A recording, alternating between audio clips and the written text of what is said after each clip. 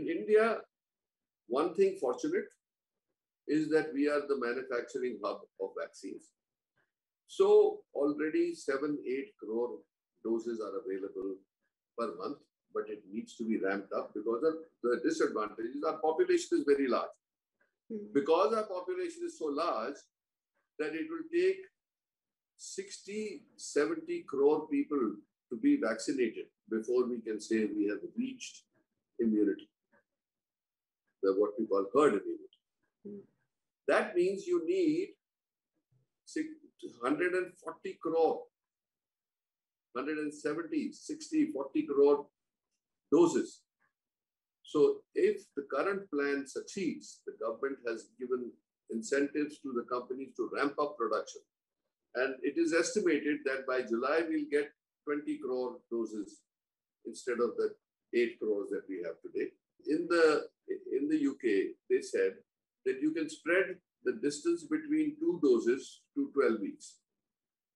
And India also adopted that, saying that, okay, the logic was that you'll be able to vaccinate more people with single dose and at least they'll get some immunity. Mm-hmm.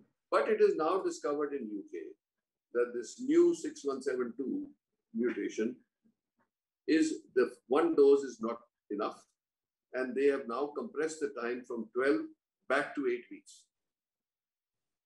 So now we always maintained as doctors that if you are exposed between two doses, then it's better to do it around six weeks, eight weeks maximum, so that you get full immunity. All these, and there are new vaccines coming up. There is an mRNA, mRNA vaccine being produced here by Panacea Biotech.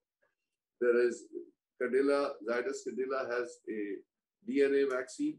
So there are many vaccines coming, and we are hoping by July, August, there will be no dearth or no shortage of vaccine.